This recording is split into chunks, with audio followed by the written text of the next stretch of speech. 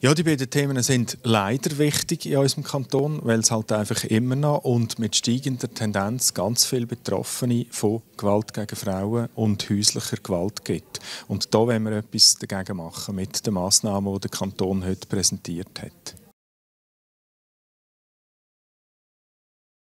Uns geht es mit den Massnahmen vor allem darum, dass wir sensibilisieren wollen. Häusliche Gewalt und Gewalt gegen Frauen ist leider immer noch ein Tabuthema, ein Thema, das wir nicht so wahrnehmen, weil es sich im privaten Raum abspielt. Es geht darum, dass Leute, die betroffen sind, direkt betroffen sind oder am Rand betroffen sind, das erkennen, erkennen, wenn Gewalt stattfindet und dann auch entsprechend können, äh, reagieren. Und für da braucht es einerseits Öffentlichkeitsarbeit und andererseits aber auch Ausbildung.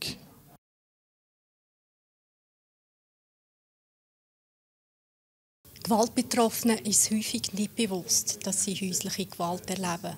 Das ist vor allem bei Formen psychischer Art der Fall, wie ständige Beleidigungen, Demütigungen, das Verbot, ähm, Kontakt aufzunehmen mit äh, Freundinnen und Freunden oder auch ein Verbot äh, oder Kontrollen über die Finanzen.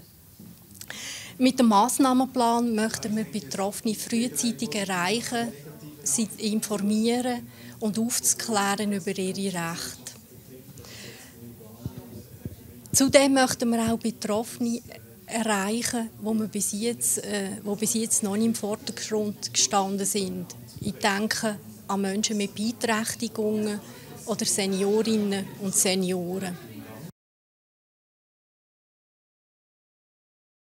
Kinder, die von häuslicher Gewalt betroffen sind, die können sich zukünftig besser selber auch wehren oder eben Hilfe suchen oder auch Unterschlupf finden.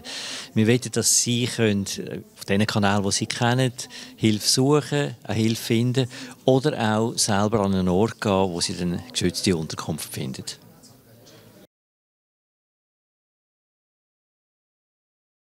Also grundsätzlich gibt es ja sehr viele betroffene Frauen oder Mädchen in der Schweiz. Man geht etwa von 22'000 äh, Frauen aus, die betroffen sind oder der Gefahr ausgesetzt sind.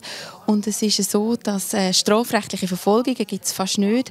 Darum ist vor allem Prävention und das Beratungsangebot sehr wichtig. Und das sind auch genau die zwei Punkte, die der Massnahmenplan vorsieht.